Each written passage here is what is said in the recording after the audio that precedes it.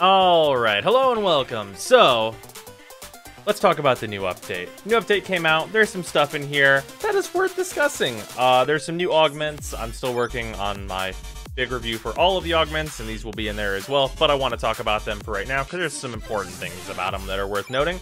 Uh, and also, we got a dope new armor set. So let's go over that first uh, because it is very nice. Uh, so, first things first. There we go. Uh, we got this dope new armor set. I think it looks really nice. It is a very nice looking armor set. I have it in the prime colors here, obviously, as I normally do with most things. Uh, and it looks really good. So we're going to go through a couple of these, uh, just so you can get a feel for it.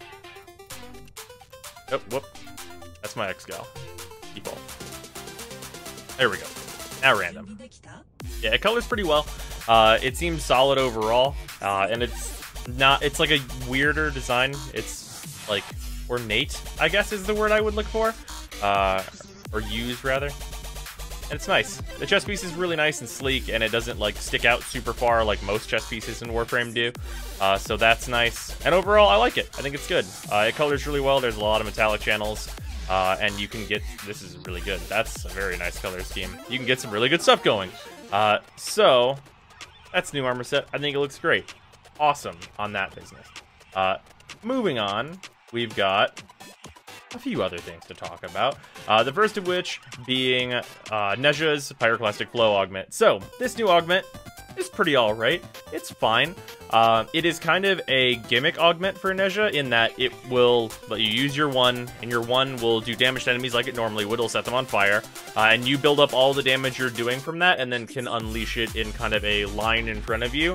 Uh, and that damage can get pretty high. Uh, so, I don't think Pyroclastic Flow is like just going to be inherent to like all all Nezhas will need this. It's not really like that. It's more of a gimmick build, uh, but it's a gimmick that does technically work, and I think it was pretty fun based on what I've used of it so far. Uh, I haven't like super a lot tested any of these, uh, but Pyroclastic seems fine. Seems like just like a fun mod that'll be useful for a gimmick build uh, and kind of hilarious at low levels. Uh, so that's fine. Uh, second up, we have Negation Swarm. Negation Swarm. that that mod's ridiculous. So, from the testing that I've done with that, it you put your irons, your your scarab, sorry, iron skin. It's a lot. It's very iron skin like now. Um, you put your scarab armor on, like you would, drain your health, build it up. Every 3% that it's consuming from you gives you 5 seconds of status immunity, which is important because it means that you can't just be spammed really fast with statuses to get rid of it, and because it takes 3% at a time, uh, metering that out over the course of your 100% of armor means that you're going to be resisting everything, including knockdowns, for a long, long period of time, which is outstanding. It's like all it's like coming up on three minutes worth. Uh, and it doesn't just it doesn't constantly drain. It's not a timer that's ticking down. It's like a timer that's only ticking down when you're getting statuses on you. So under the circumstances where you're constantly getting status, this is still really good. Like any just and also Grineer magnetic doors. I, I can't say enough good things about Negation Swarm. It is it's just in a fucking fantastic augment that has replaced Handspring immediately on my Inaros. I'm planning to throw another form into my Inaros to fit um, Firewalker or Lightning Dash where my Handspring was. It is a fantastic mod. Anyone who is playing Inaros, you should get Negation Swarm. It's amazing and great. Uh, you will absolutely be seeing that in a future builds video for Inaros, provided it stays the way it is, because I think it is vital to any Inaros, because all Inaros should always be having their Scarab armor up anyway. So, given that, let's talk about some things that aren't so great. First of which being Beguiling Lantern. Beguiling Lantern, as we all know, Titania has problems. Lantern is not a good ability. And this one will make it so the enemies that are, are affected by your bad ability, your 3, which is clunky and often doesn't do what you want it to do, will take 100, 100% more melee damage. Right? Right? Ah, guys? No? Yes, this augment's terrible. It's absolutely abysmal. I can't think of a single scenario where you'd ever want to use this, especially as Titania. Uh, this might be no, even then, even for teammates, no. Why would you want? Why would you want a Titania to be wasting her time doing that? If you're Titania, use your four, and don't use your melee that's in your four. That is not a good reason to use the melee that's in your four. You should use your fucking Dex Pixia. You should be using the guns if you're gonna be playing as Titania. Period, because that's the thing that she can do well. The rest of her kit is super clunky and not great, and like her one is just okay. It is an abysmal augment for a terrible ability completely worthless.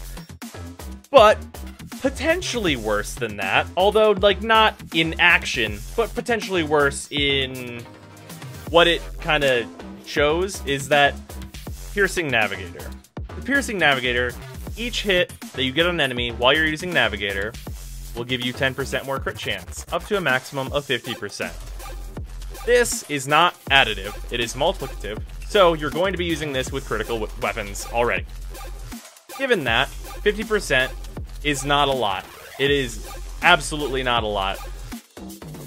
Like, that is less than half of Point Strike. And it's not great. So, given that, what, why did we get this? It's completely useless. No one was using Navigator anyway, like, normally. And this is not a good, but like, hitting five enemies in Navigator, that's a hell of a lot to ask if that said 500% and you get 100% every time, maybe we have some kind of maybe argument. But with this, it's totally worthless. And the thing about this is that it's insulting to like the people who wanted other things for Ivara because let's show what the design council voted on for Navigator. This is the vote that the Design Council did for Navigator. You can see what the winning one is. Ivara travels with a projectile appearing at the location where the ability ends. So, obviously, if you were to do that, there are some things that can break. You can shoot your Navigator arrow through a wall and then teleport through a wall and break all kinds of shit. So that not going into the game makes perfect sense to me. They couldn't do it, like, holy shit, that is a lot to ask for one augment on one Warframe. I totally, totally see where that would come from. The thing that I don't see where it comes from is Piercing Navigator, because Piercing Navigator, as you can see, ain't fucking on that list. So, we have all these other options that are much simpler than the one that won. For example, reduced energy cost per target hit. That's like pretty simple, and that's better than Piercing Navigator. So I don't really understand why none of these went in. Because all of these would be probably better than Piercing Navigator. Unless, like, the Toxin Trail did, like, no damage whatsoever. But, like, projectiles have a chance to disable terminals that require hacking, so you can use your, your two to hack terminals. That would have been fucking cool. That would have been awesome. Like, I don't know. I don't know how we ended up here. I don't know why the design council was even given a vote. Like, these options were chosen by DE, and they were like, okay, vote on them, guys. And then we did. And then we end up with that.